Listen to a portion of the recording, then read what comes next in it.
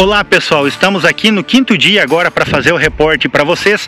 Ontem terminamos aí o, a, de dar o reporte para vocês do município de Marshall, Minnesota. Passamos pela Dakota do Sul e a Dakota do Norte. Hoje pela manhã fomos até o extremo norte da Dakota do Norte, a 160 quilômetros de Winnipeg, no Canadá. Ou seja, fomos no extremo norte dos Estados Unidos e temos muitas informações importantes para vocês. Algo que nos chama muito a atenção do que nós nós vimos aí até agora é a questão justamente da dificuldade de germinação das lavouras. O stand muito desuniforme e também plantas aí em estágios diferentes. Plantas uh, pequenas em estágio V1, V2 e plantas em estágio V5 na mesma lavoura.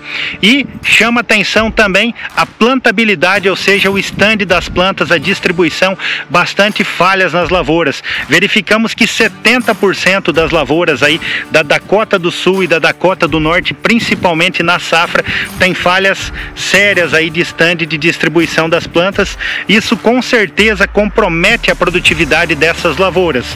Outro fator interessante que nos chama atenção e que foi relatado lá em Minnesota, onde que a gente via no sul que estava chovendo melhor, a preocupação deles esse ano, porque logo após o plantio teve esse atraso, a gente até mostrou ontem lavouras de milho aí que foram replantadas lá e o maior problema ainda foi o controle de ervas daninhas, que aqui nos Estados Unidos eles têm problema, tem muito problema de resistência de erva, que devido ao clima seco também ficou muito atrasado esse controle, ou seja, haverá competição de mato nessas lavouras e também a questão do fito aí, que a gente vê muitas lavouras que a soja já está começando a florescer e com fito muito forte aí de herbicidas na lavoura. Sem dúvida nenhuma vai comprometer a produtividade. E falando no milho nesses estados aí, quando a gente chegou na divisa dos três estados, Dakota do Sul, Dakota do Norte e Minnesota, no encontro desses três estados, nós foi o primeiro lugar que a gente viu milho com as folhas de baixo amareladas sofrendo mais com a seca, né? Pessoal, ali é a rodovia, aqui nós estamos no encontro dos três estados na divisa. Estamos em Minnesota, mas muito próximo da divisa com Dakota do Norte e Dakota do Sul. E nos deparamos com a pior lavoura que vimos até agora, por onde passamos aqui nos Estados Unidos. Olha a situação da lavoura, ó. Aqui eu já tô fora da bordadura. Dá para ver que para nascer aqui, ó, o solo tava rachando, as plantas sofreram, ó, amarelado, entendeu? Amarelado aqui as folhas de baixo do milho. Ó, aqui dá para ver as folhas retorcidas. Muitas variedades de milho aqui nos Estados Unidos tem a folha meio estreita, parece estar tá retorcida, faltando água. Mas se vocês olharem aqui, ó, olha, a lavoura grande, entendeu? Então a primeira lavoura que a gente se depara no norte aqui, sofrendo, e nós vamos mais ao norte e vamos estar tá informando vocês aí. Pessoal, aqui norte de Dakota, estamos indo agora para o oeste. Fizemos todo o cinturão do milho pelo leste agora estamos indo para o oeste. No momento que a gente pega o oeste e começa a afastar um pouco, a gente já começa a encontrar lavouras assim, ó, com as folhas retorcidas e deu uma chuva passageira pela manhã aqui, porém vamos cavocar aqui, sair do rasto aqui, cavocar mais aqui, ó, aqui, para mostrar a umidade, ó. Ó, tem um pouco de umidade superficial, em cima seca rápido a casquinha, porque aqui o vento é forte, é intenso. Qualquer sol, ó, a partir do momento que chega em cinco dedos, ó, começa a tá seco. Olha aqui, ó, seco, ó. Então a reserva de água aqui já não tá boa.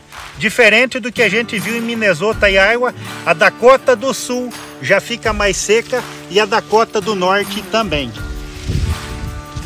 Então hoje pela manhã nós fomos no extremo norte aqui e lá ah, verificamos que choveu bem.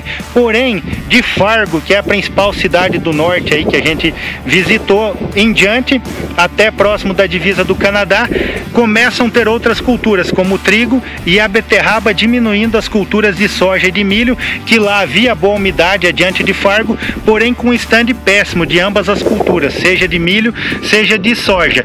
E uma coisa que chama atenção muito é beterraba beterraba, que é uma cultura muito plantada aqui em, Nebra, em Dakota do Norte, que é o terceiro maior produtor de beterraba dos Estados Unidos. A beterraba aqui é usada para fazer açúcar, como a nossa cana de açúcar.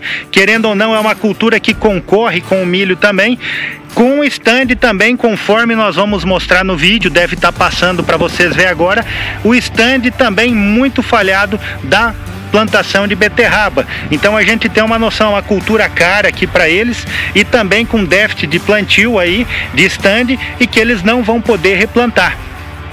Então, uh, basicamente é isso daí o extremo sul de Minnesota encharcado, o norte já seco, a Dakota do Sul também seca, o extremo norte da Dakota do Norte úmido, porém com problema de stand, e os três estados aí uh, com problema, Minnesota, Dakota do Norte e Dakota do Sul, na parte leste desses estados aí, é, com deficiência muito forte aí, déficit aí de distribuição de plantas, ou seja, plantabilidade, stand de plantas mal distribuído. Então uh, vejam aqui nessa lavoura que a gente está visitando agora, ó, muito falhada. Isso é o reflexo de quase todas as lavouras. Essa não está tão amarelada, porém com fito, ó.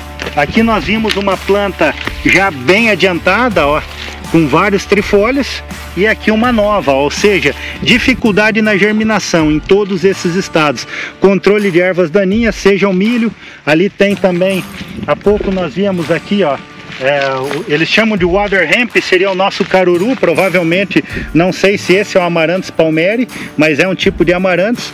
Então, várias ervas que vão competir e vão competir por produtividade esse ano aqui nos Estados Unidos. Se vocês querem saber mais, continuem nos acompanhando aí nos próximos dias aí. Sigam as redes sociais da ProSoja Mato Grosso e do Aproclima, aonde nós estamos tentando levar a informação daquilo que a gente vê a campo de verdade, sem influência, querendo levar sempre a verdade para vocês estarem informados. Obrigado e continue nos acompanhando.